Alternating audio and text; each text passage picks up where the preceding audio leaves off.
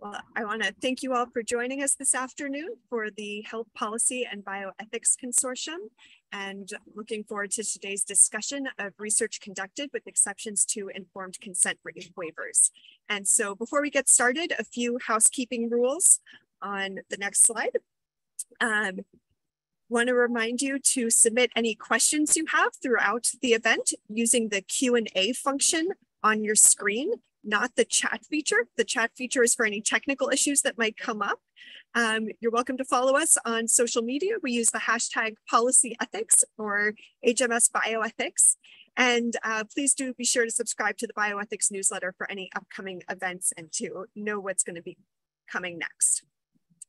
Um, so welcome to this consortia and the Objectives for this series are to discuss and identify key issues in healthcare systems and public health, and especially those that are raising challenges for ethics in policy or in practice.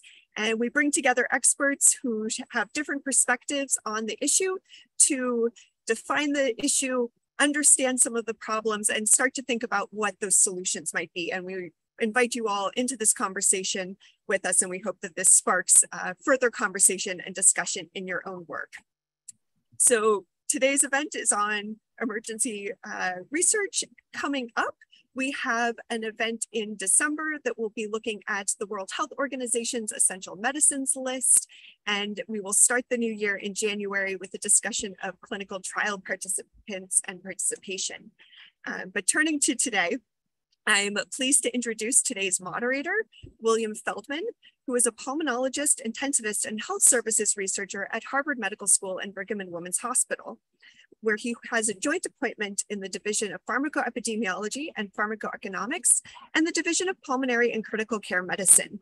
His research focuses on drug pricing, FDA regulation, pharmaceutical policy, and research ethics. He also co-chairs the ethics committee at Brigham and Women's Hospital. He has completed his medical degree at the University of California, San Francisco, his doctorate in political philosophy at the University of Oxford, his MPH at the Harvard T.H. Chan School of Public Health, and his internal medicine residency and pulmonary critical care fellowship at Brigham and Women's Hospital. So Will, thank you for joining us today. I'm going to turn it over to you. Thank you so much, Leah. I'm just going to share my screen.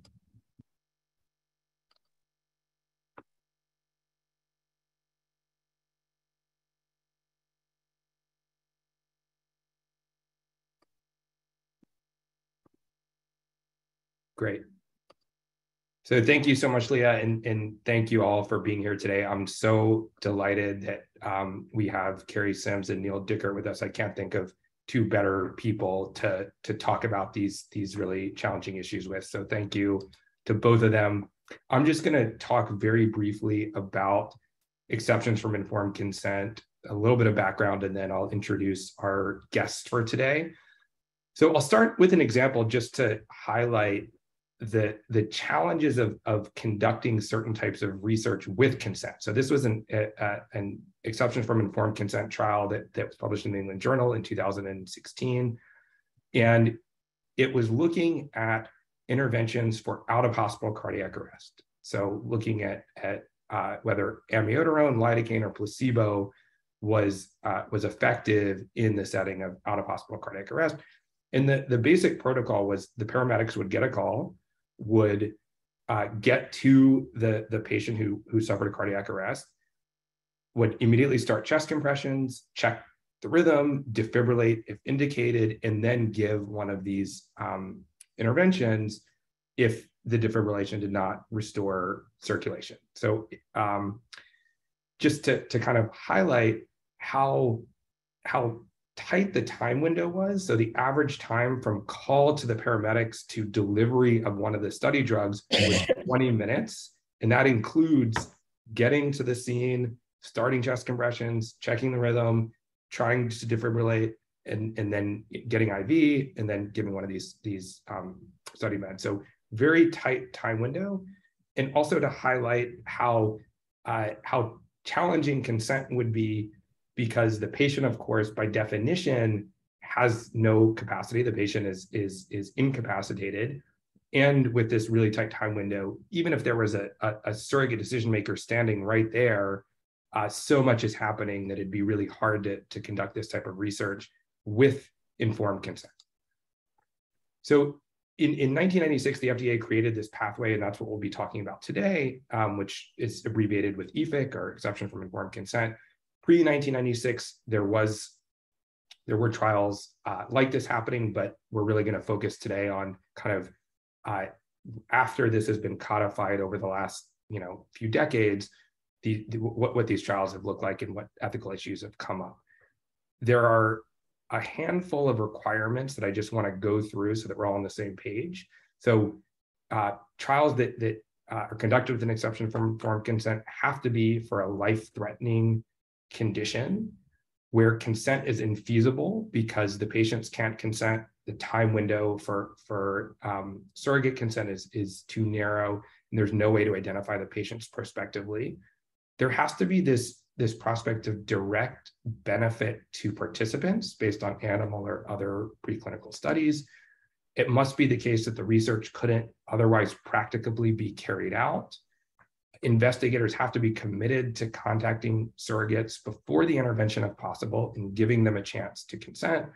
And, and the IRB, of course, has to have, have signed off on the consent plans and, and on all of this. So you can see how the, the trial for cardiac arrest that I mentioned before really um, satisfies these conditions in a in the kind of paradigmatic way where the really narrow time window for intervention, um, life-threatening condition, and it'd be hard to envision this research happening without uh, an exception from informed consent.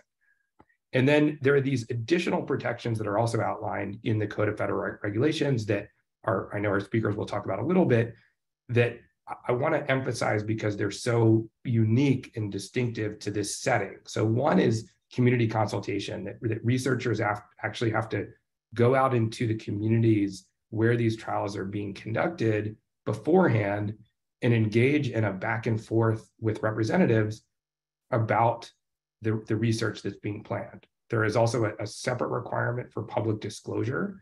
So prior to trial initiation, the, the um, investigators have to disclose the risks and benefits in, in sort of a, a wide scale fashion. So it has to be, you know, typically it's by radio, by television, on on billboards, but but engage in this kind of community um, disclosure to the community ahead of time. There's public disclosure of results afterwards that are required. You have to have a, an independent data safety monitoring committee. And then there's this requirement that's that's a little complicated to to understand, but basically when when consent isn't feasible and there's no legally authorized representative, the investigators are also committed to contacting a family member when possible um, during the therapeutic window to allow them a chance to opt out. So, what did these trials look like over the last few decades? This was a review that that uh, was published a couple of years ago, but basically looking at 41 EFIC trials from from 1996 to 2017. You'll see that about 40% were for cardiac arrest, but quite a number of other conditions that that um, were studied. So, so hemorrhagic shock, traumatic brain injury, status epilepticus, ischemic stroke, uh, respiratory failure, and acute coronary syndrome. About half the trials were conducted in the pre-hospital setting and half in the hospital setting, but I'll just highlight that the pre-hospital trials are much, much bigger. So something like 80, 90% of participants were enrolled in, in pre-hospital um, in pre-hospital trials. And then just to show on the right that about a quarter of the trials were, were um, studying devices, about half were studying drugs or fluids like vasopressin or, or hypertonic saline or antiepileptics. And then uh, a quarter or, or, a little bit less than a quarter, we're, we're looking at different types of process interventions. So there, there are a lot of ethical questions that I'm sure are coming to people's minds just even hearing about some of these requirements. And I'll, I'll point out a few, and and the, this list is by no means exhaustive. And uh, you know, I'm sure we'll hear from from our speakers about other uh, kind of ethical worries that have, have creeped in. But but one hard question is um, how should community consultation guide trial investigators? There's this requirement, but what should trial investigators do with the consultation? Another is, is how far should investigators go in locating legally authorized representatives or family members prior to an intervention? I gave the example of cardiac arrest where the, the time window is very narrow, but there are other conditions like stroke, where you have not just minutes, but maybe even a little bit longer um, on the order of hours, though earlier intervention, of course, is, is helpful, but not always seconds to minutes. What does it mean for consent to be impracticable? In some cases, you see trials conducted with an exception from informed consent at some sites and not others, which raises the question, is it, is it um, truly impracticable if it's actually being done at sites with consent? And then are these trials equitable? So um, recent work has shown that uh, Black patients are, are disproportionately enrolled in uh, trials granted an exception from informed consent relative to, to population numbers in the US, uh, and something we can talk more about. But um, again, just for challenging questions uh, that, that to, put on the table, but um, I wanna uh, hand things over now to our, uh, our wonderful um, speakers, uh, Carrie Sims and Neal Dickert. I'm just going to introduce them. Let me stop my, my share. I'll, I'll introduce the two of them and then hand it over to Carrie. So Carrie Sims is the director of the Division of Trauma, Critical Care, and Burn at Ohio State University Wexner Medical Center and professor of surgery at Ohio State University Medical Center, where she holds the Olga uh, Professorship in Surgery. She leads a lab studying mitochondrial dysfunction and late stage hemorrhagic shock. She earned her medical degree from the University of California, San Francisco, her uh, master, her, her MPH from the University of California, Berkeley, PhD from the University of Pennsylvania. She did surgical uh, internship and residency here in Boston at MGH um, and fellowships at, at uh, Beth Israel at the Harvard Center for Minimally Invasive Surgery and uh, at MGH and Penn. And then Neal Dickert is an associate professor of medicine in the Division of Cardiology at Emory University School of Medicine he holds a secondary appointment in, in the Department of Epidemiology at the Rollins School of Public Health and is a senior faculty at the Emory Center for Ethics and a member of the Emory Clinical Cardiovascular Research Institute. Um, his research focuses on ethical issues relevant to cardiology practice and clinical research.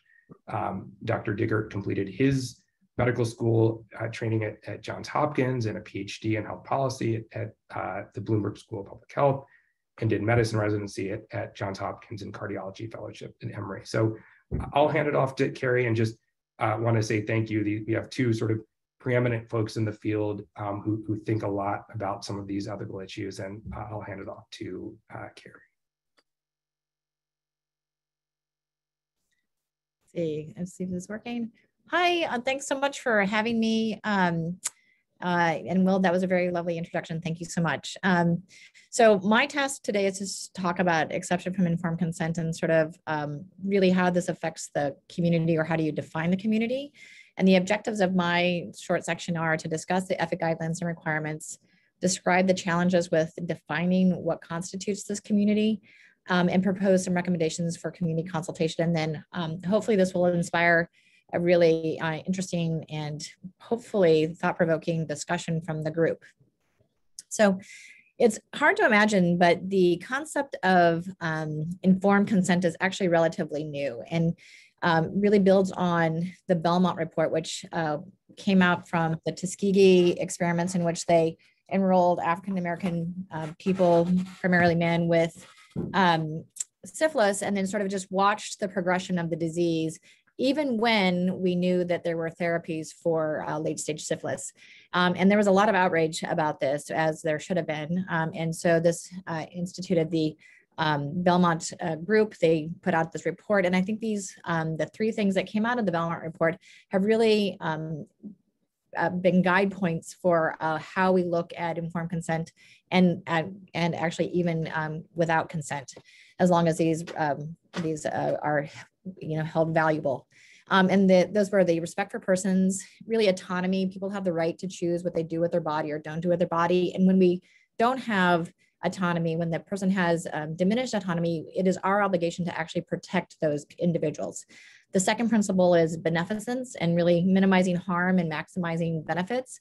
And finally, justice that that people who um, should share the burden of the research as well as the benefits of the research, and it shouldn't be in just one group and you know bearing all of the harm and, and none of the benefit.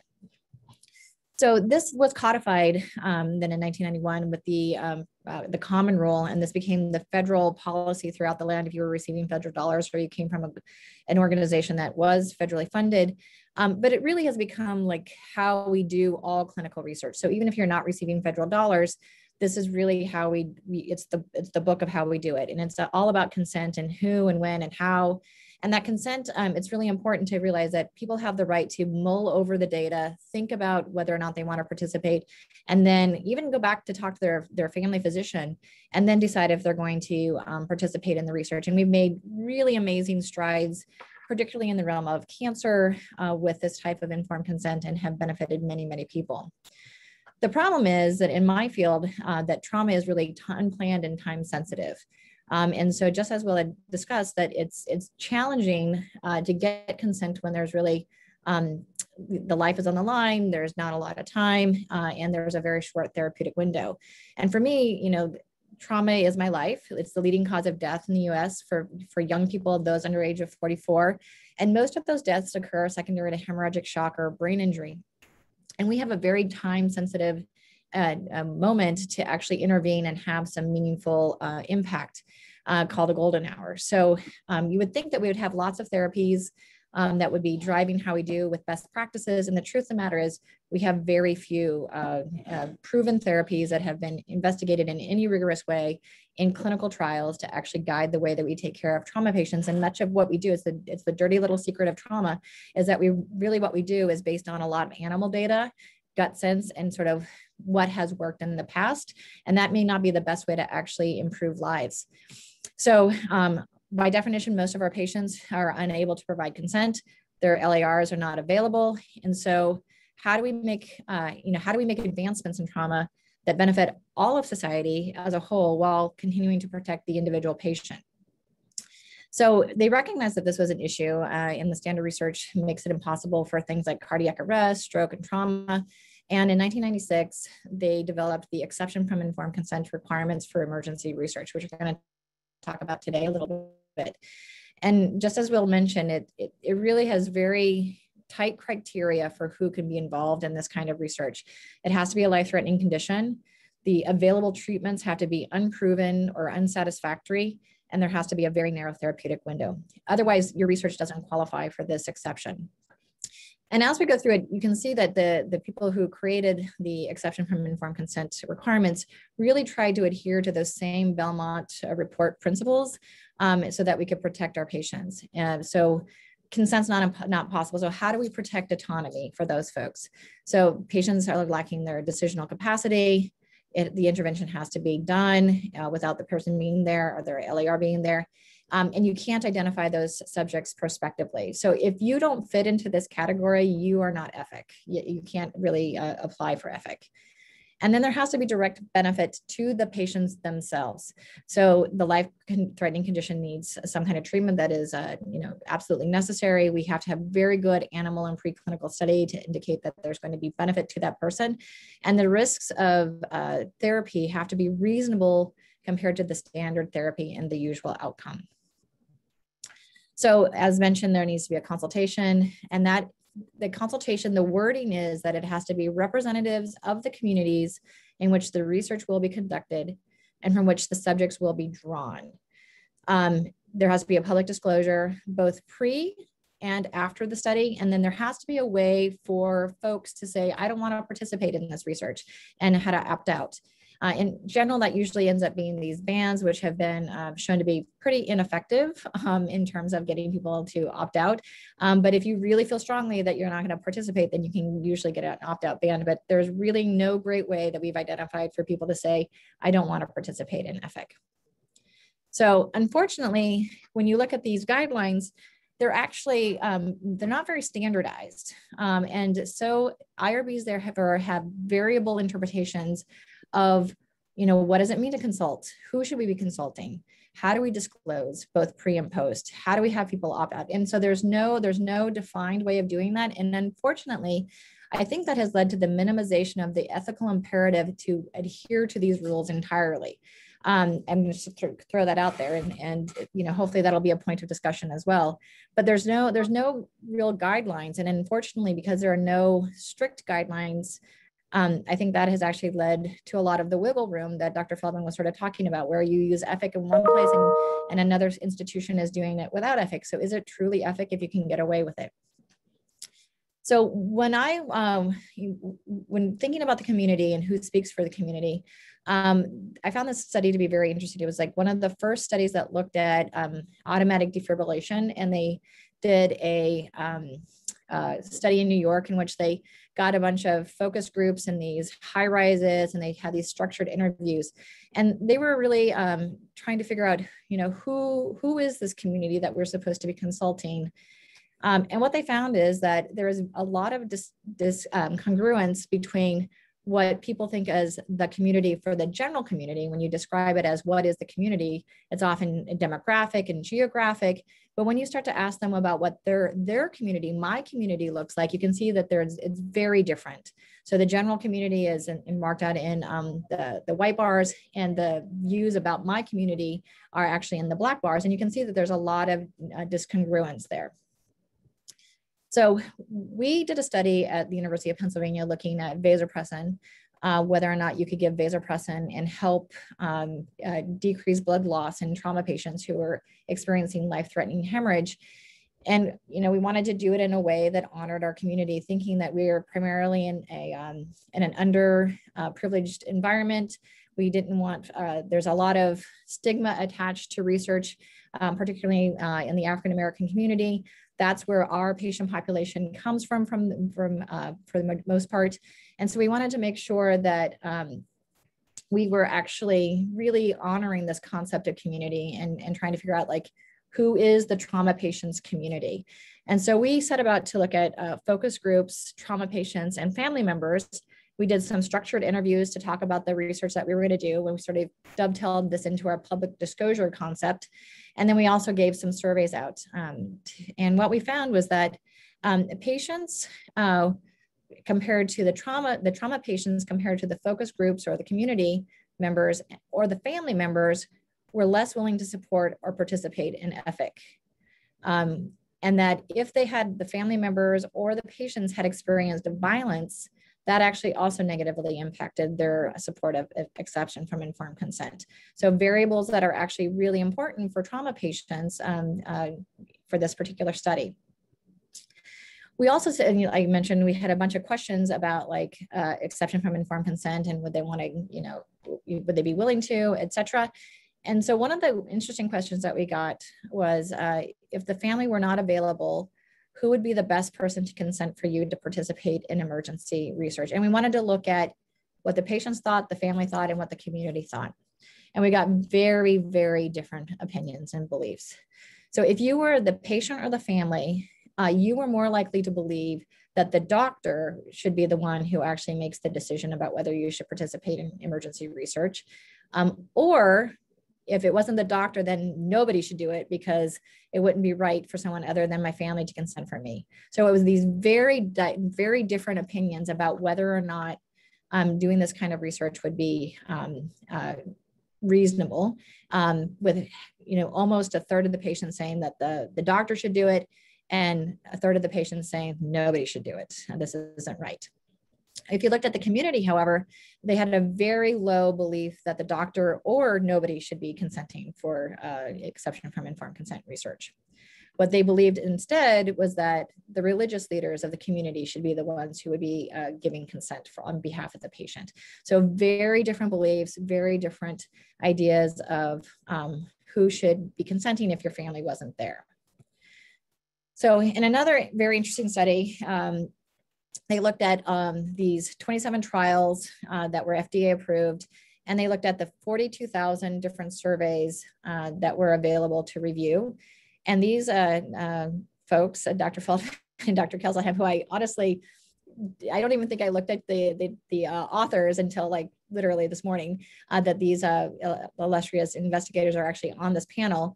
Um, they did the study. So uh, 42,000 surveys. These were, um, and they looked at the difference between random digit di- or random uh, random surveys versus um, convenient sampling. And what they found is that as you sort of went away um, from the community and got more personal, uh, the the acceptance of uh, enrollment actually decreased in these emergency studies. So, you know, 86 percent of the folks thought that they that you could enroll anyone in the community and that would be okay.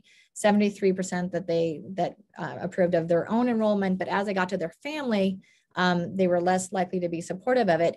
And in fact, if you actually looked at whether they approved of enrollment without consent, um, almost a little over half of those did not believe that that was actually acceptable.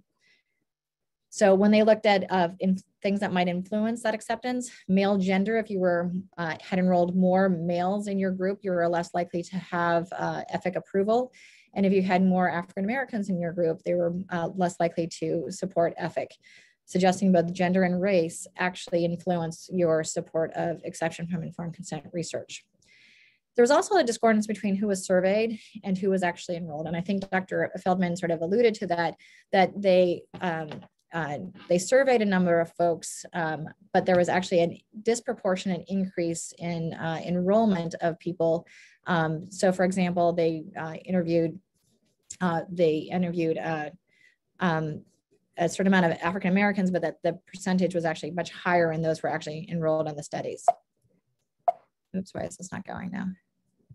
There we go. So, in another review, it goes to this issue of uh, justice and whether or not the burden and the benefit of research is actually shared, and even whether or not exception from informed consent research actually benefits society at all. Um, in the study, uh, they looked at the uh, 29 EFIC trials. Uh, they had nearly 47,000 patients.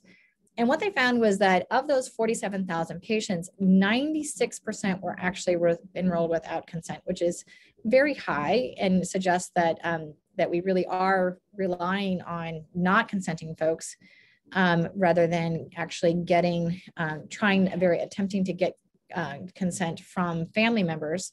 And then there was a 1% withdrawal. Again that seems very low in terms of um, you know people participating in research um, they found that of these 27 29 studies only four studies demonstrated any benefit and five were actually associated with increased harm. And of those groups, one third of the participants were African Americans, even though the US population of African Americans is um, roughly 14%.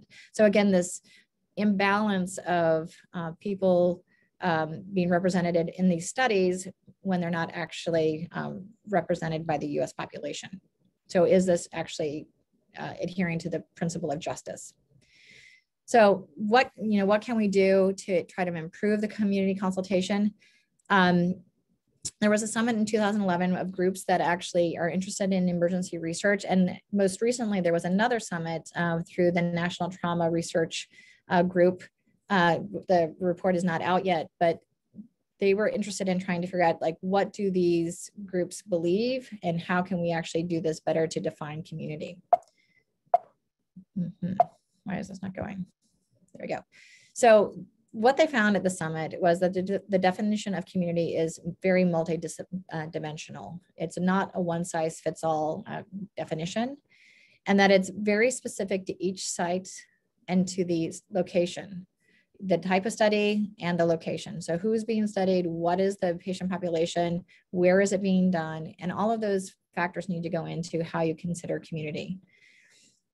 They also felt that the segments of community that would be overrepresented or disproportionately enrolled should have a seat at the table and they should be specifically uh, contacted um, with the consultation process.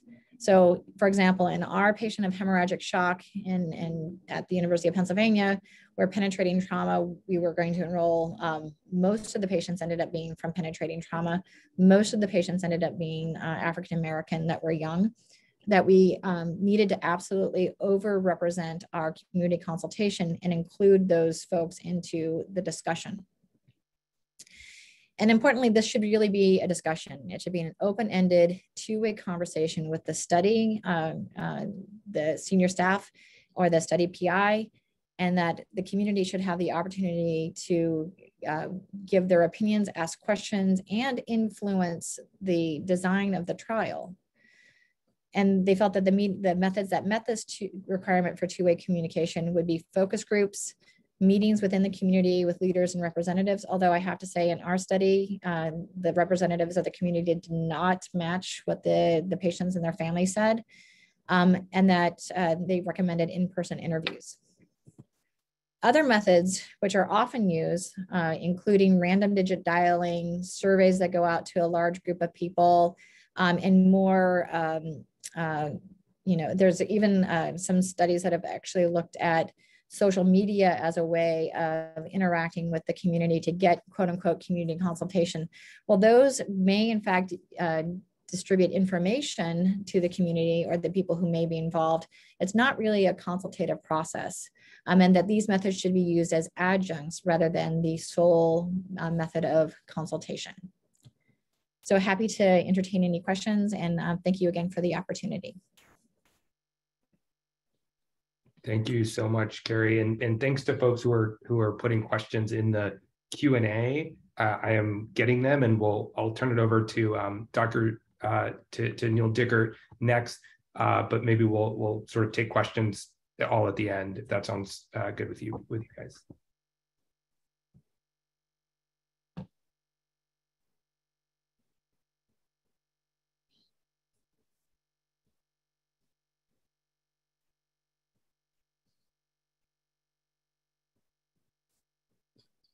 Thanks very much for uh, for having me, uh, and and thanks to to to Carrie for a great uh, uh first talk, uh, and Will for a really nice uh, introduction to set the stage um, for this.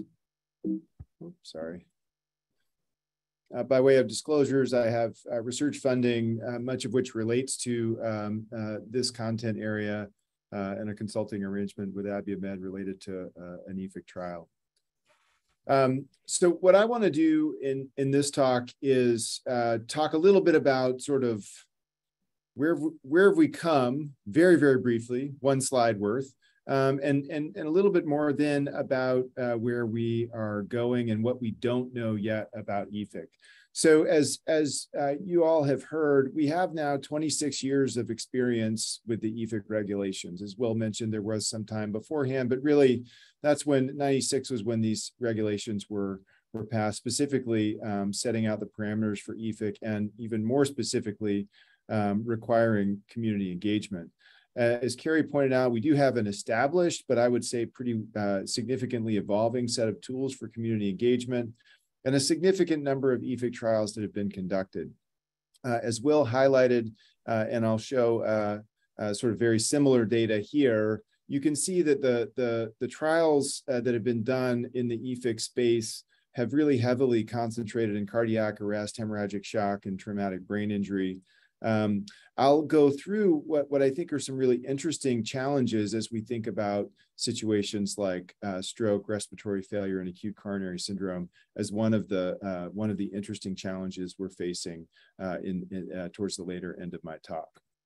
So um, what I think uh, in, in, in structuring this uh, for, for this session, I thought what might be most interesting was to think about what I what what what are the real challenges and questions uh, that remain. And I, I, would add, I think the, the equity piece is a very interesting one. I didn't focus on it in this talk, but I hope we'll have a chance to talk a little bit about that in the context of um, uh, a discussion, because I actually think it's a, it's a really interesting and important uh, topic. But I, what I wanted to, to focus on here are uh, what three challenges I think are really important. One is how to make community consultation and public disclosure both meaningful and efficient. And Carrie got at some of this in her talk, and I'll talk about some um, uh, some supplementary uh, issues in that space. A second has to do with defining the scope of EFIC regulations and particularly studies that involve a mix of populations who can and can't be involved prospectively. Uh, and then a last is something I think that often doesn't get talked about, um, but really is how best to respect people who are enrolled in EFIC trials. And that's really built on a, what I think is a really important notion that respecting persons goes much beyond autonomy and, and, and thinking about how we execute that is an important area for the work. So, um, so the community consultation, I, you know, this is a, a, pretty um, uh, really low budget graph I made a long time ago uh, that, that I still think is helpful. And, and, and Carrie alluded to some of this, but, but it's a really important issue. I think when we think about community consultation, there can be a tension between depth and breadth.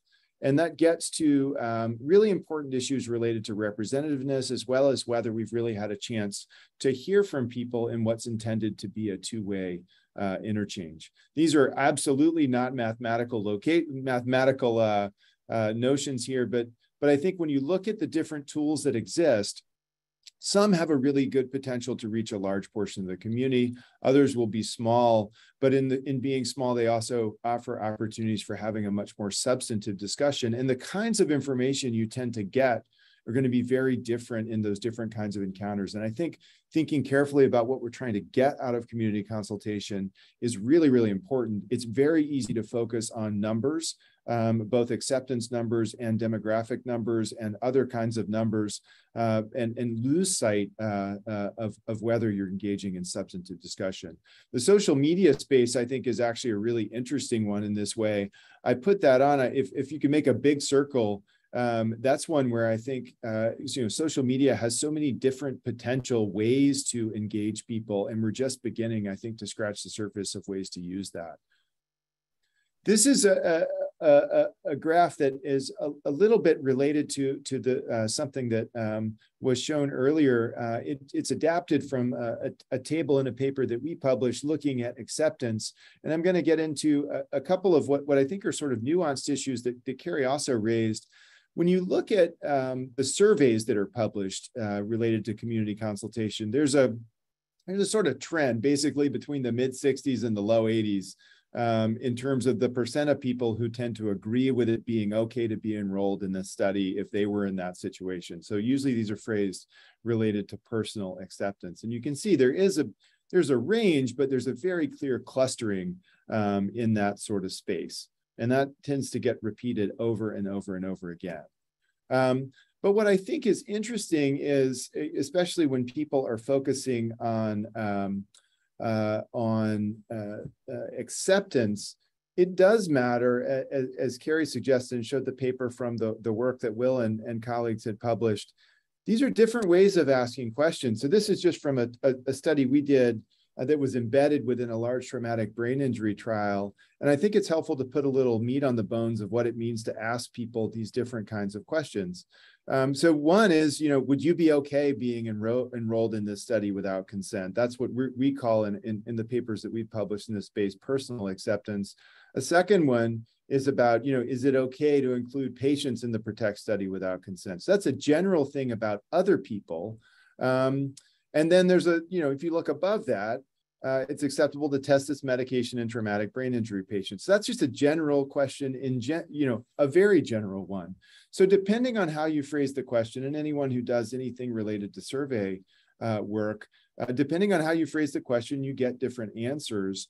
And I think that really matters when we try to put things together. And and you know, people who are clinical trialists in the EFIC space are generally not necessarily survey experts, right? So, so, so it's a basket of lots of different ways to ask questions and make it a bit of a hard, um, a hard uh, nut to crack in terms of what to expect.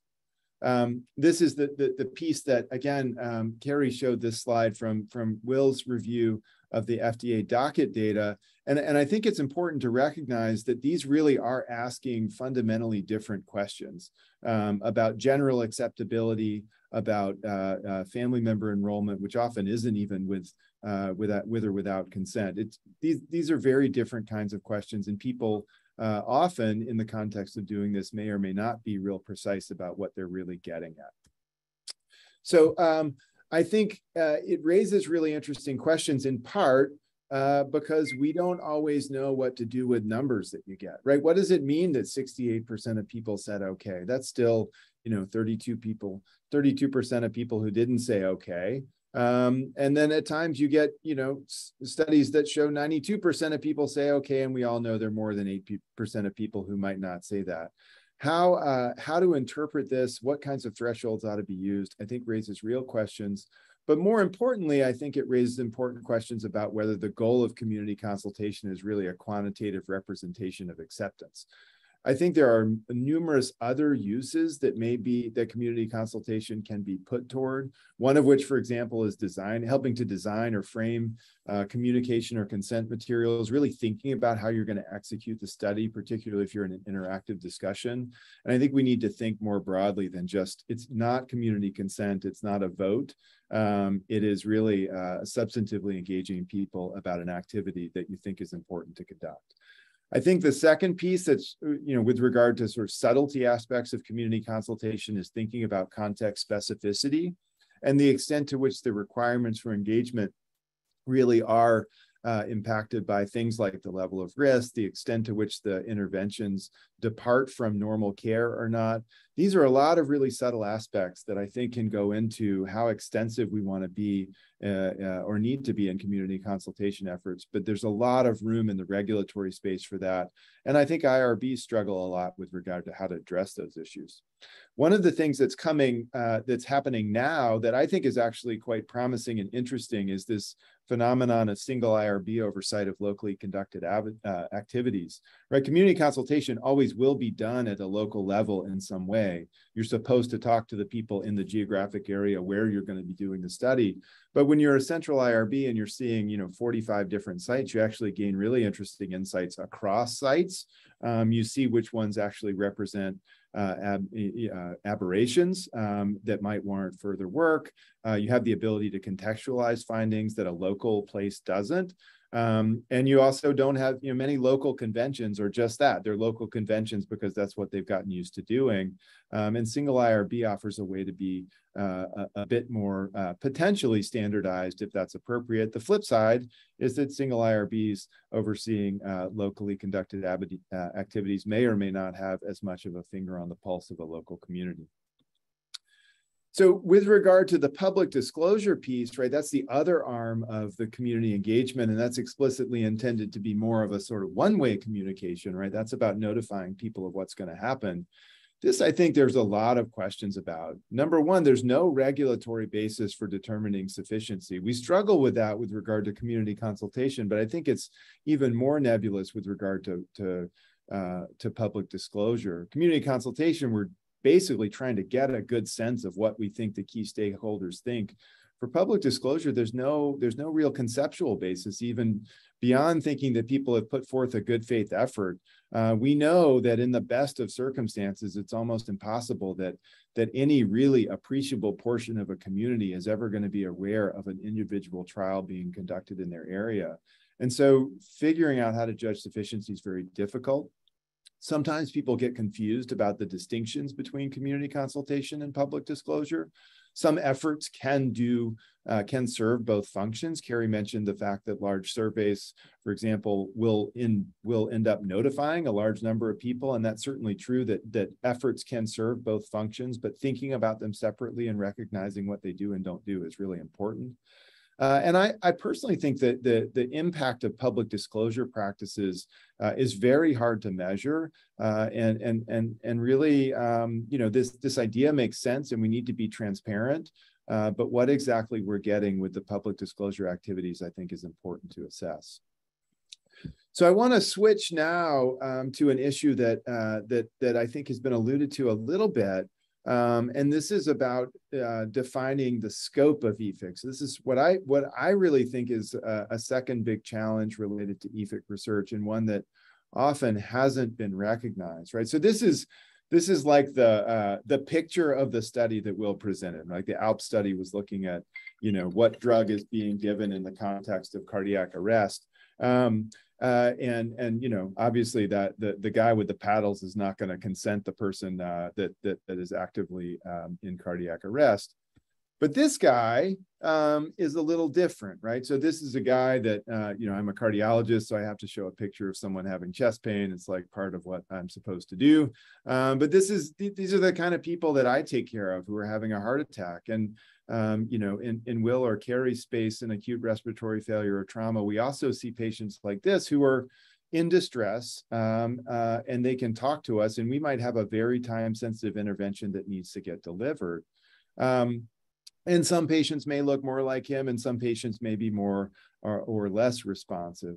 So, so there's a wide range of people with acute presentations and, and a wide range of interventions that have different kinds of time pressures. People have different kinds of symptoms that could get away or get in the way of their being involved uh, with a decision. There's high levels of stress. Different conditions have variable levels of neurologic impairment. And obviously, the lack of familiarity with research we know is pervasive. The other thing that I think is really important to recognize is surrogates in acute care situations face a lot of the same barriers. So um, so there really are, I think, a, a wide range of situations um, where we face um, that are high stakes situations and we have acutely ill patients that need immediate treatment. And I gave an example of some of these things, but it includes septic shock, acute MI, cardiogenic shock, trauma. Um, and these span context from the pre-hospital environment to the emergency department to ICUs and ORs and cath labs. Uh, as Will mentioned, uh, these are uh, the, the, there's a there's a variety of settings, a variety of time sensitivity, um, and uh, and different kinds of milieus in which uh, studies that plausibly fall under EFIC uh, are going to be conducted. Um, and I think it's important as we're as we're seeing, you know, this clustering of, of work in the cardiac arrest, traumatic brain injury, uh, and major, hem, uh, particularly um, uh, hemorrhagic trauma, um, have been the focus of a lot of this work, but it really applies to a very broad range of clinical situations. And you know, the EFIC regulations, interestingly, uh, do have something to say about this, and it's important, but there's a lot that they don't say. So what the regulations do say about um, about this issue is that we are supposed to get consent. We're required to get consent if a patient's capacitated or an LAR is available and capacitated. And interestingly, there's a requirement that gets doesn't get much airplay, but I think is really interesting that we're supposed to offer an opportunity to object to enrollment in cases where consent isn't possible, but someone's available. So it's like an opportunity to say no, even if a, a real consent process can't take place. Um, and and and and the third piece that that that's been described by my colleagues is that the, the study obviously can't be practicably uh, done when enrolling only subjects who can provide consent or who have an LAR who could do this. So so what's left kind of unstated uh, is what this threshold should be for practicability.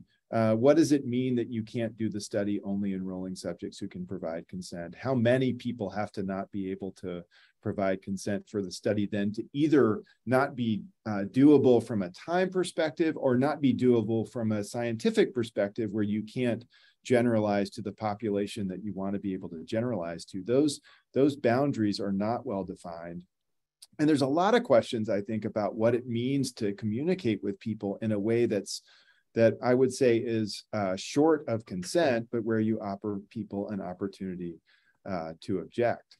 So so in terms of thinking about this i think you know we don't we, we, we have this notion of what a full informed consent process is supposed to look like but we don't have a great uh, notion of what a sort of partial involvement or opportunity to object should look like.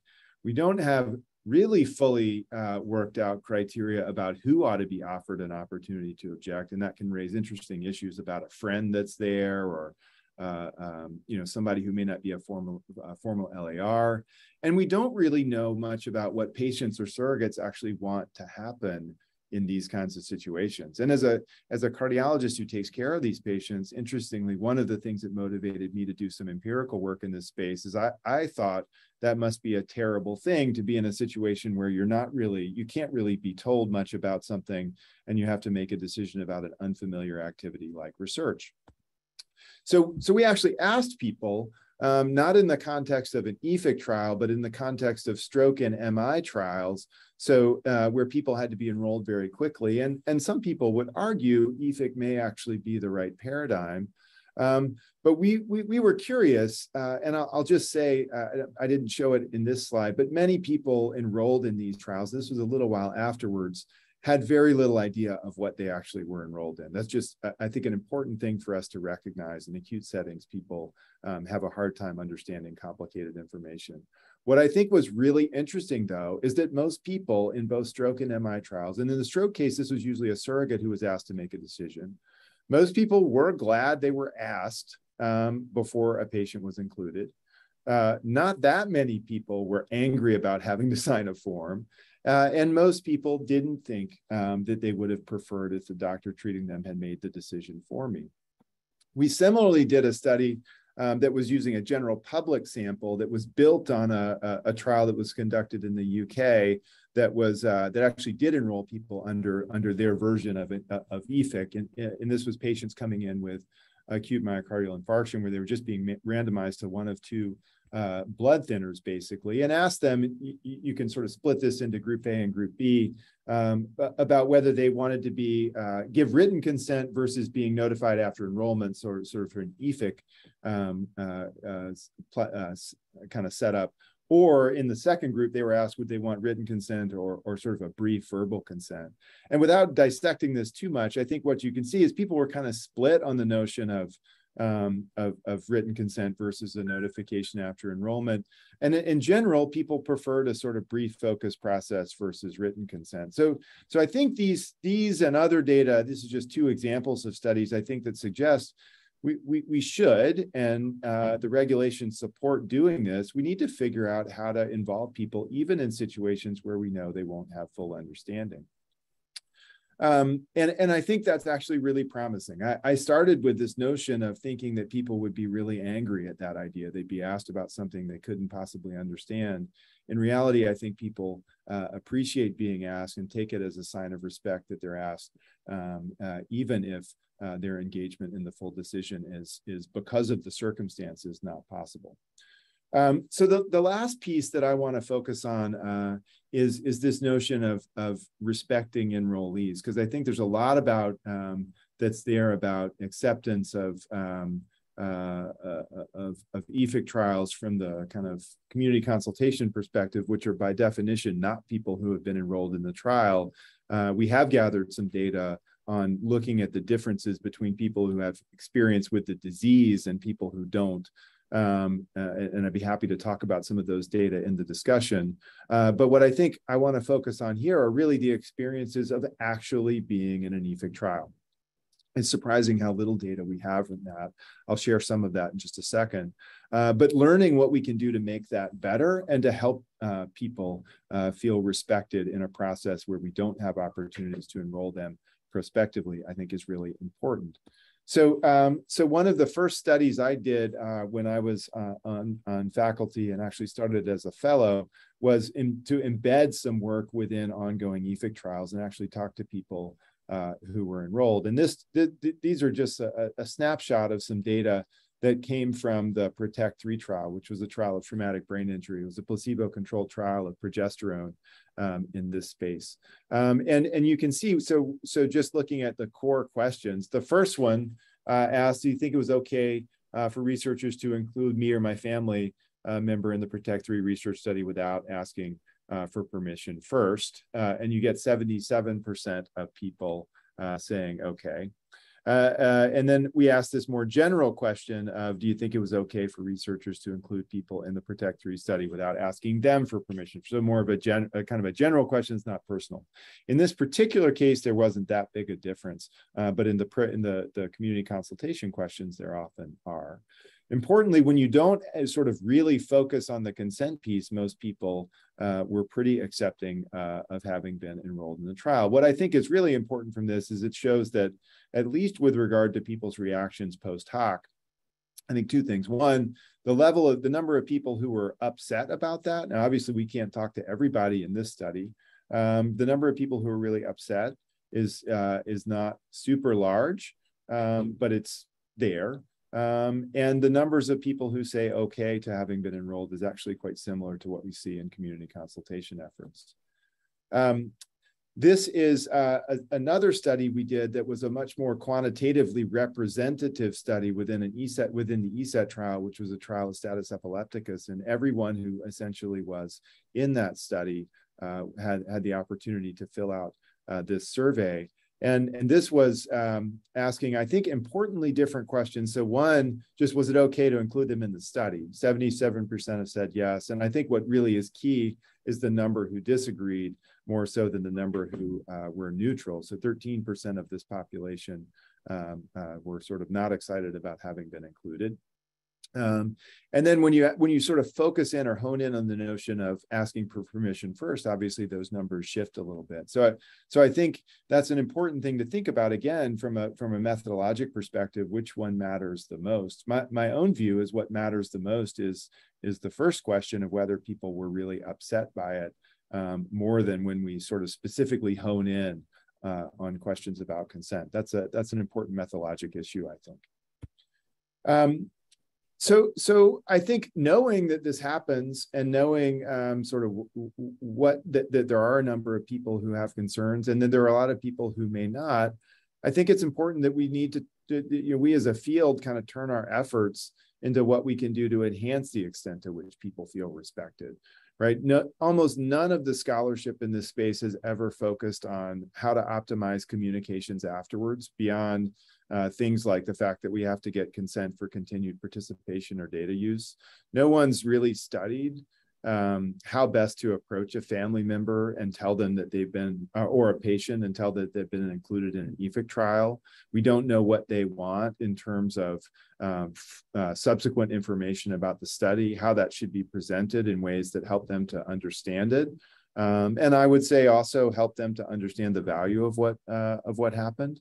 Um, but I think one of the promising avenues for community consultation is actually to help develop um, some of these strategies. One of the criticisms of community consultation is that it's almost never resulted in any study uh, not being done, right? It, they, they, they, they generally go forward with a set of data about um, how many people say yes, um, or how many people say, say it's okay, but um, but it usually doesn't alter the way a study's uh, done. I think if we think about using community consultation to help to, to, enhance communication strategies and treat it as a genuine form of engagement about how to do the study the best way you can, we actually might learn a little bit more and have some things that would be more directly uh, implementable. So, um, so where do we stand? Um, hopefully, we can talk about that in the discussion. I think we have a significant accumulated experience conducting these trials. I think there's a lot that we've learned and a lot of ways that they can uh, that they can happen very effectively. I think there are important challenges related to the scope of EFIC and how to uh, approach prospective involvement. I didn't talk about this um, specifically, and I should mention it now.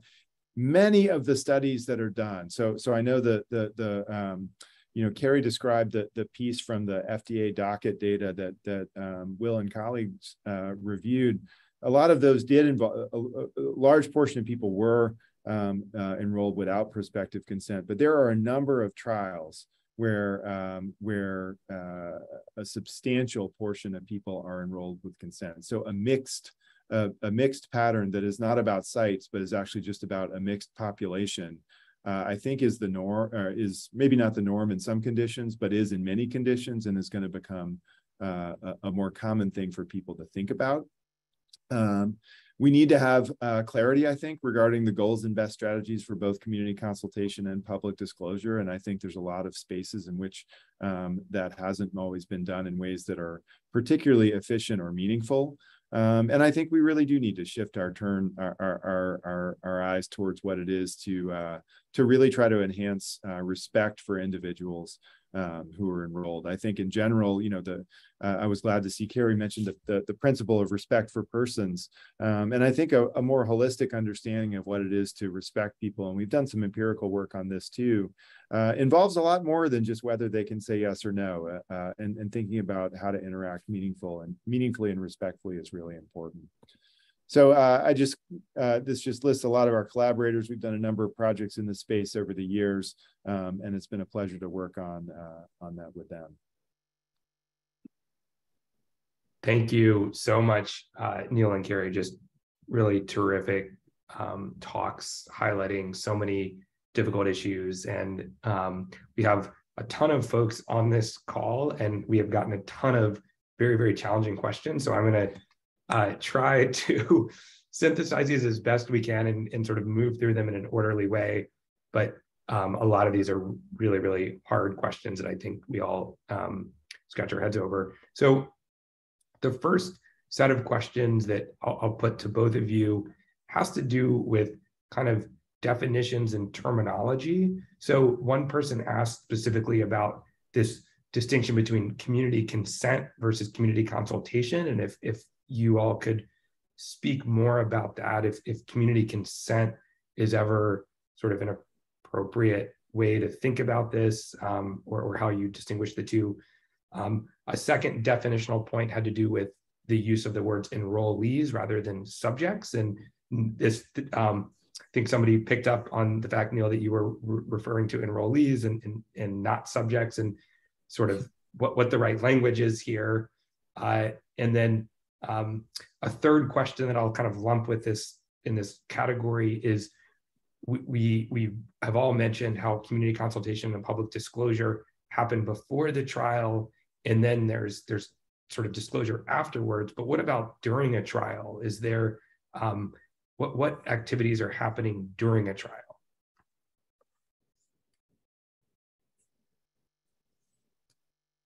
I I guess I'm I'm happy to start. Um, uh, I'll see if I can maybe maybe I'll answer one or two of those questions. Carrie can pick up on others or add to it. But with regard to the consent piece, uh, I think that's that's pretty straightforward. The, the regulations and guidance are, are, are, very clear that this is not a community consent process, right? This is not a, there's no, this isn't a vote. Um, uh, I think at the same time, if you were to find overwhelming opposition, um, you know, I think most people would say it's, it becomes difficult to justify what, what I think. So, so, um, so it's intended to be a consultative process where you're engaging in discussion um, and you listen, you take seriously what, what people tell you. Um, so it isn't, it is not community consent, um, in large part because most of these communities are not defined communities with hierarchical structures of decision making, right? There's not, that doesn't exist. There, there isn't a body you're going to in most of these cases. So it, so it is not like, um, like certain kinds of the term community consent tends to exist when you have more uh, sort of decision making kind of hierarchies and structures you can go to. So that's not, that's not it. Um, the subject enrollee thing is interesting. I, I, I don't know whether I, um, you know, I think sometimes a lot can be made of, of, of that distinction. I didn't intend to make a lot of that distinction. Um, they, th these are people who may or may not have it have chosen to enroll. Um, you know, I, they are subjects in an experiment, you know, in, in, a, in an experiment or study that that is that is absolutely true.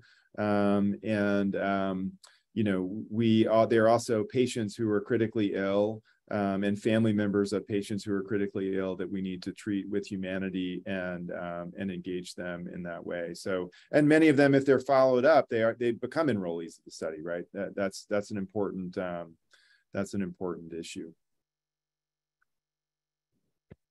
And and maybe Carrie uh, or either of you just on this question of of kind of activities related to public disclosure or community consultation as the trial has begun. It's not something I've thought about, but it's an interesting thing to ask about. I'm curious if you all have thoughts about that.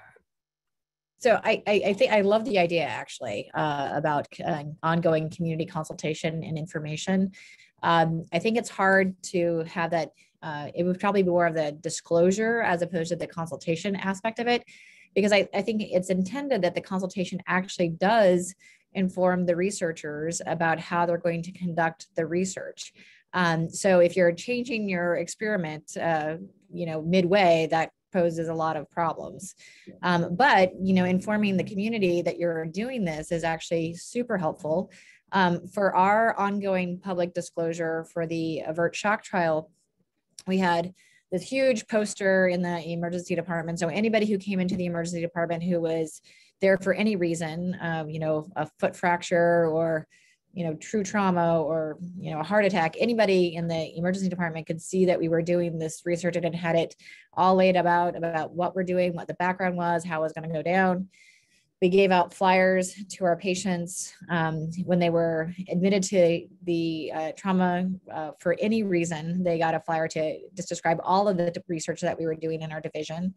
Um, but we did not go out you know more toward the community and sort of continue to meet with people and talk to them about what we were doing but i do i do really like that idea a lot um, and should be something that people should consider doing not as consultative because i think you can't change the experiment but from a ongoing public disclosure and i think it would actually that idea would actually um, foster a lot of trust between the at least geographic community and the institution that was doing this kind of research. One of the things we found when we were going on and meeting with the focus groups and, as well as the patients was that um, families, patients, and community don't really realize that we just we don't just treat people we actually try to advance science and improve the way we care for people um, and so it was actually an educational opportunity as well about like this is this is what our institution does we don't just care for you we want to make sure this never happens again that we continue to try to save your life in different ways Yeah, I, think th- this point is really important. Um, I, just to add on to that, what, what, one of the things that, that's within what Carrie said that I think is just incredibly important. We, we think about this as isolated to an individual study, but but it, I really think the right way to think about all of this is as a, as the way that an institution and, and a set of researchers relate to the community, and it it it goes over different projects, it spans different conditions, this is about how we interact with people, um, about how we make progress in medicine. And and so, uh, you know, I, I think it, it, it we the, the way it's structured, it's it's all about an individual study, but it's really it's really about much more than that if we take a bigger picture view. And um, and I think for the most part, most investigators would love more opportunity for their work to be more public. I don't think there's anybody out there doing studies where they're trying to hide anything, right? They they want they want the the discussion and and and you talk to many people in this space, and they're like, I couldn't get the newspaper to cover it. I couldn't get interviewed on TV. I couldn't get anyone to talk to me on radio. You know, it's um I think I, I think people want that. So I, I I think it's they're open to it. Um, in a related vein, one one person asked to hear more about this, the wristbands and the experience with with opt-out wristbands that both of you alluded to.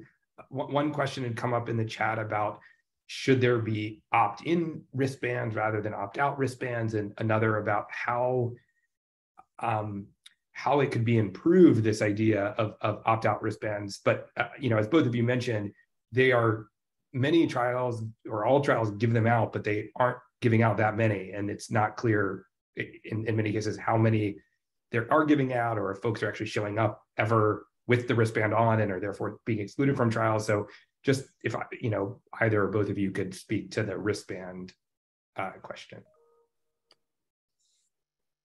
So the uh, I, I, think this is a really great question. Uh, so the opt-out wristbands, um, you advertise them, and then people don't pick them up or don't ask for them. And those that do ask for them um, really do not want to be in your trial. So you know that from the beginning. The I think the challenge with um, doing the opt-in um, is that these disease processes are not predictable. So um, if they were predictable, then you would be able to go out to those groups and sort of advertise your study and get enrollment um, in advance, uh, uh, which is one of the requirements for EFIC. You, um, so it's you have no way of predicting, uh, for example, who's going to suffer some of these emergency events. And if you if if we have the opt out and it's poorly attended, you can imagine how poorly uh, enrolled the opt in would be as well. Um, so I think it just adds to the impracticality of the whole research. So um, I don't think we would get any of it done from a practical perspective. Now, does that make it ethically murky? Possibly, um, but it does make it uh, almost assuredly that you will not get your study done. Yeah, yeah, I, I would just say I I, I agree 100. percent I, I I don't think it makes it ethically challenging in the sense that there's just no way you can possibly reach. Um, you, the, you look at what what most people don't know about what's happening in, in in the world, and to think that we have any realistic expectation of making most people aware of a of an individual study um, is just is I think not practicable. The other thing with regard to the opt out piece, right? I mean, you you can imagine if we really rely or you, you could imagine people having like a long if you're in a place that does a lot of emergency research you're like your whole arm's going to be covered with opt-out bracelets um, and these things are really hard some people have said should we have a blanket you know don't include me ever in emergency research i don't think offering people something like that is also um, I, think if anybody were enrolling and they saw that they wouldn't do it right you wouldn't enroll someone who said that and that would be appropriate um, but but the idea of really trying to promote kind of blanket research refusals when it's really a contextual and and and not related to the study or the condition, um, I, I don't think that's productive. I think what we what we do we we have a burden of communication and and I think appropriate oversight um, to to to be trustworthy, right? I think we just have to own it. Right? We we we we were as institutions, as investigators, as ethicists we have to own that we're taking a big responsibility by doing a trial that enrolls people without their prospective consent um, and and and really take that seriously i think also if you look at um, you know one, one thing that has given me sort of encouragement i guess is that when you look at the people who were enrolled and you ask them, are you glad you were enrolled in this trial? Overwhelmingly, people are. Um, in our study for the avert shock trial, we enrolled um, 100 patients and contacted every one of their families at some point within that time. Um, some patients made it, some patients didn't make it. Um, and only one family member actually withdrew consent uh, when we, we approached them. So, I mean, that's a remarkable enrollment. And I think what it goes to show is that there is, despite what we say, there is some trust between the medical community and the, um, the patients that we serve. Um, and that in fact, people, when they're in, uh, uh, in these emergency situations, they really do want um, either standard of care, which is the placebo part of this, or they want something better that we think might be better.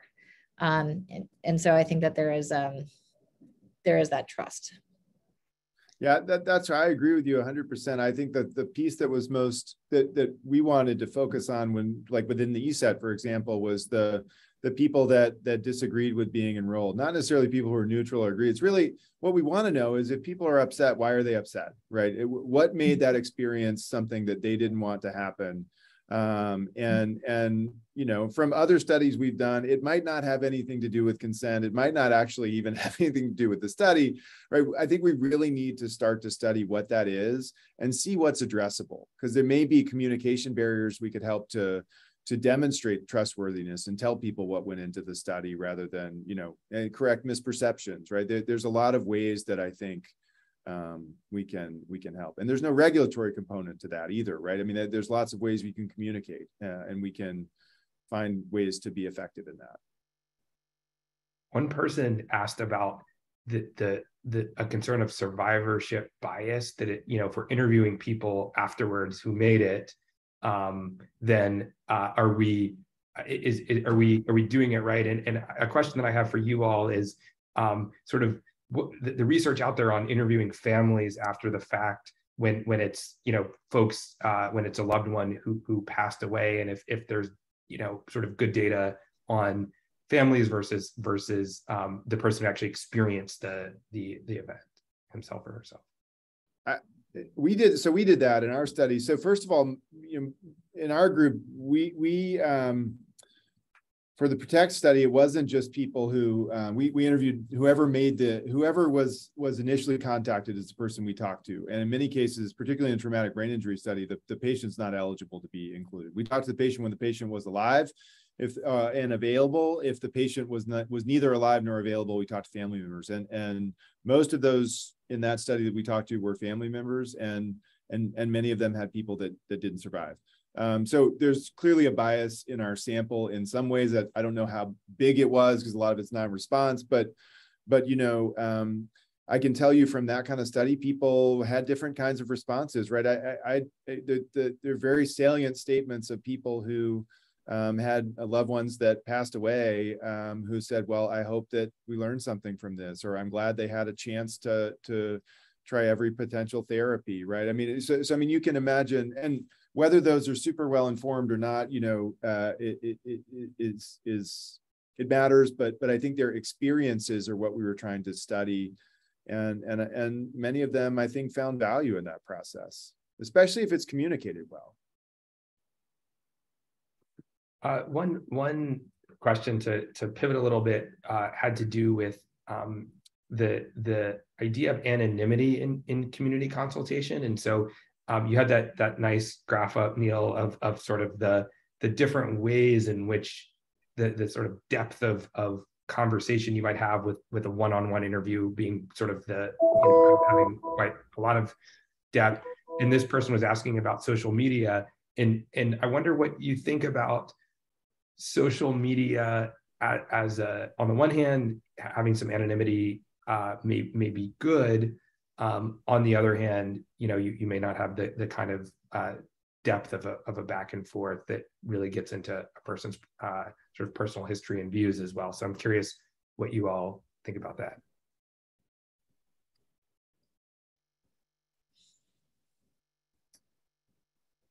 I, I think I, I mean I, I guess the question is like um what what is the what is it that you're trying to, to get at exactly? Um, and often like it's, uh, I think usually in the context of these uh, community consultations, you want to explain to the community um, what the study is exactly. And sometimes just if you do that from a written perspective, I'm not sure that people actually get it because there's no opportunity to ask a question. So I think I think you'll get answers, you'll get some information. The the question though would be is it truly an informed conversation? Um, because there's no opportunity to ask for clarify, clarifying questions and there's no um, opportunity for the researcher to um, to probe hesitancies or to um, make sure that there are, are, no miscommunications. So I, I, like it in the sense it would really fill the public disclosure. I think anonymous surveys are helpful for the disclosure. You will get some information. You may get um, broad swaths of uh, you know information, but the again the context and, and, the question, how the question is phrased, you know what it, it just poses a lot of issues in my mind. Yeah, I, I think um, I, I think the key is to understand uh, for people thinking about the social media piece that that that this is not a that this is a very heterogeneous set of strategies, right? And and some of which has really been developed in the context of of COVID, where people had to move forward with things and couldn't have in-person meetings, right? So, so if you're doing a Facebook Live session with, uh, you know, members of a particular group, that's a, that's a substantive discussion that can happen if you're if you're saying I've consulted, you know, 80,000 people who have clicked on a website once and nobody had an objection so they think that's okay. Like that's you know we we know that's garbage right? Like and, and, and people accidentally clicking on things doesn't necessarily constitute um, real notification right? So so I think um, I think there's subtle uses of this. There's probably a whole lot of tools that could be really powerful um, you know, one thing I've seen some people do, for example, are, you know, focus groups are hard to do, right? They're labor intensive. Not everybody has the expertise to do this. You can do that remotely and do it virtually and, and have actually people who are more qualified to do a focus group moderate a focus group in an online format and you might be able to reach people that you couldn't reach if you were doing in-person focus groups. That's not social media but but this notion of uh, th there are new tools um, and there's lots of ways. I think carrie's exactly right that you just need to think about what you're trying to get out of it um, and and and and whether the method is suitable to the goals. I, I really do like the 2011 recommendations um, from the emergency medicine group because it really does provide this concept that the consultation should be a two-way communication. Um, and then if you want to couple that with an anonymous survey um, that people get afterwards and they can turn in the information without being identified in any way, um, then I think you might get some real uh, information. Uh, for our trial, we did give out surveys. They were you know, they were all collected, they were anonymized uh, uh, in that respect. Whether folks felt they were anonymous uh, might be different. Um, but, but I think really looking at the, the heart of what the community consultation is supposed to be, and it's supposed to be um, a, a, uh, a, a consultative moment where you talk to the patient or the the community the community talks to you. It's this give and take. You learn what their values are. You, you you get clarification. And i think when we don't do that when we just do random digit dialing or we do like these you know very surveyed approaches i, I think that we miss out uh, on what might be valuable to the community and then if it if we're not really listening are we then really um, I mean, it's not consent. I don't want to get that confused, but, and it's not really substantive judgment, but there's something very valuable. And I'm not sure what the word is. Maybe Dr. Dickert or, or Dr. Feldman knows, but that there's something very valuable in that interaction. And I think we need to preserve that as much as possible. I have a very thoughtful colleague who describes that what he sees is a lot of the value of the community consultation process is just having to put yourself in front of people and and it's like a mirror right you you want to be able to ask people for consent and this is what you want to be able to do and you need to be able to describe what you want to do i mean all of us who have been clinicians that it's one thing to talk in the background about something, but presenting people with different kinds of choices and having to stand in front of someone and say, look, you know, your, your loved one's very sick and we want to randomly assign them to one arm or the other. Like that's, you need to be, you need to be ready to do like the, the, the process itself, I think makes you think about what you're doing and makes you understand the humanity of the people you're interacting with. And, and you can lose that if you don't, if you're not present in some way. There's lots of ways to be present, but, but I think that's important. So um, one one just last quick question before we we shift gears a little bit. But um, one person who is an who, who does EFIC studies is on the the call, and um, actually something that came out of their community consultation process was the idea of having a registry for opting out that they would then check, you know, against the registry when when whenever anybody was was um, enrolled. And he, uh, this person was just asking how common that is and whether you all see that as a as a maybe a, a, better mm-hmm. step as opposed to Neal, you're sort of wristbanded up person, yeah. you know, with, with like 10 wristbands on and that sort of thing. Yeah, that that process of a registry actually for the Protect trial that grew out of community consultation. It was one of the few one of the things that the actionable items that came out as people asked, could you do that? Um, and so that was established for that trial. And, and I don't know whether the person who's asking was affiliated with that trial or with others and, and probably has come up out of other community consultation sessions too.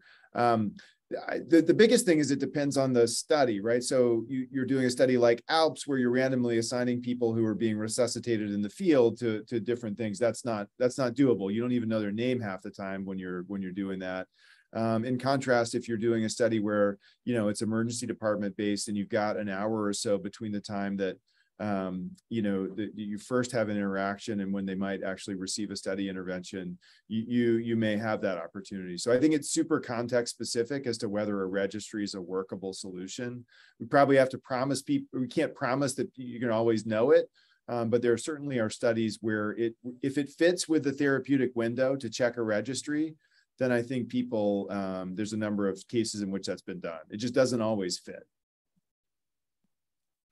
Um, so shifting gears, we, we had some questions around equity and around um, some of the, the sort of ways in which, uh, especially Black patients, and one person asked specifically about young Black men, um, you know, which, which Carrie alluded to in, in uh, one of the trauma trials.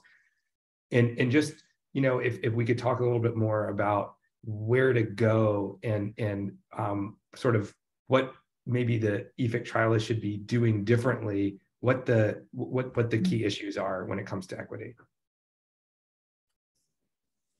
Uh, Carrie, go ahead. Yeah, so I, I, you know, I think, I think, you know, again, um, we, we want to um, over consult the groups that have are likely to be uh, enrolled so that we get their opinions. And I think for our trial, we consulted all trauma patients. Uh, we had, you know, we could predict potentially who might be more likely to be enrolled in our trial just based on our geography and mechanism for large volume blood loss. Um, you know, in uh, West Philadelphia, that happens to be uh, young men who were shot. Um, so, you know, because we enrolled more young African Americans who were shot, um, they were the people who were presenting with the disease process. In retrospect, what I wish we had done is not uh, done our uh, community consultation with um, you know the, the, the studying the tra- trauma patients the families and the community. Um, i wish what we had done is look at the trauma patients who were victims of gun violence um, the family members who were victims of gun violence and community members who lived in the geographic community because i think that would have given us a better representation. Um, that being said you know i think that when we looked at the the people who did continue enrollment, uh, we only had one participant's family members decline continued uh, participation. That wasn't an African American guy. That was a, a, um, a, gentleman who was in a motor vehicle crash. Um, so you know, I think that um, representation matters. Um, what I think we need to be very careful about is if the study happens to be on traumatic brain injury and we know that the most likely participant in this trial is going to be you know old men who fall uh, old white men who fall that we don't over enroll old african american men who fall like we really try to figure out who is the patient population who's going to be um, enrolled in that study and then target in a very focused way the community consultation to include not only the geography but the patients who will be enrolled. And I, then I think we will be uh, really trying to adhere more to the principle of justice. So I I think this is such an interesting area and one that is more complex than maybe it gets credit for. Um, so I, I, for example, am part of a network to increase diversity in clinical trial participation in cardiovascular disease, right? We have a historic problem of under enrollment of underrepresented uh, uh, populations. Uh, and in the EFIC space, the the criticism um, that that you know that, that Will you and others have raised is maybe we're over enrolling. Um, so it's a funny it's a it's a funny um, tension that we're that we're facing with regard to with regard to enrollment here.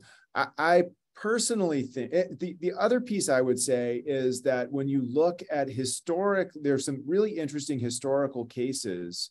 There's a, a, a TBI trial that was happening before and after the EFIC regs were enacted before the EFIC regulations were enacted, they were enrolling basically all white patients. I, I make it the numbers wrong. And then after the EFIC regulations, they basically enrolled whoever went came through the door, which was whoever came through the door. Other and other, uh, and that became much more racially diverse. Other studies that have looked at individual, the participation to prevalence ratio at sites where that's been looked at EFIC is sort of an equalizer in the sense that it, it enrolls whoever comes through the door with the condition, right? It's not selective. There's not issues about differential um, uh, refusal. The, the issue, I think, and I think what you guys found in your paper, Will, is, is probably less about the EFIC mechanism as it is about where we're doing studies, right? We tend to be doing studies at sites that are you know major urban centers and and and this is the kind of so so i actually i i, I don't know what what you guys thoughts are but but my view is that's actually not a problem with efic that's a problem with site selection um, and i think we need to be careful about that because we don't want this to be um, about the mechanism. It's it's about the it's about who does research and where we do it. Um, that that probably isn't in many ways is not intentionally discriminatory but it's it's where it's where for, for a whole host of reasons it's where research tends to get clustered. Um, so I, I, personally don't think it's really the mechanism. The other piece i would say is with regard to the engagement i worry that people that are really focused on um, representativeness and community consultation can be over counters and if we focus on the quantitative representation of who's there rather than the quality of who we're talking to and whether we're really legitimately hearing underrepresented voices then we could miss the boat in a big way. Yeah, thanks. Uh, and I, think the point somebody else had, asked this question in the chat about is it exactly the point you raised, Neal? Is this about where the the, the center, academic, big academic centers ha- are? Um, and you know, I think it's it's an interesting and important question for the for EFIC trialists and for ethicists and all of us to think about this question of burdens and benefits, and and do we need to, you know, be more selective in in in which sites you know if we've been doing everything in west philadelphia for the last you know for for a, a, you know long time do we need to really maybe spend the extra money and do the trial in in you know a, a place with a different sort of demographic makeup so i, I think it's um like you know th- this seems like a, a, a sort of unanswered empirical question in a way but but one that that probably needs more more attention because it's it's a, a, challenging one exactly as you said neal it's sort of both ways. You, you, you it's, it's, it's good to be doing research on diseases uh, that, you know, where trauma, for example, that, that, you know, great that we, we're getting testing therapies. And um, so it's, it's certainly challenging. Um, well, we're just up against the hour and, uh, you know, I just want to thank um, Neal and Carrie for a, a, really wonderful discussion. I learned a ton um, and from all the great questions, there are probably a dozen more that we just couldn't get to because of time. I tried to prioritize, um, you know, ones that were clustered together. But thank you all, and um, Leah, I'll, I'll hand it back to you for any any last thoughts. I just want to echo your thanks and um, thank you, Dr. Sims, Dr. Dickert, Dr. Feldman, for this really wonderful discussion today, and to remind everyone that we will be back in December uh, with our next event, and we look forward to continuing the conversation then. Thank you. Thank you Thanks all. So Thank you.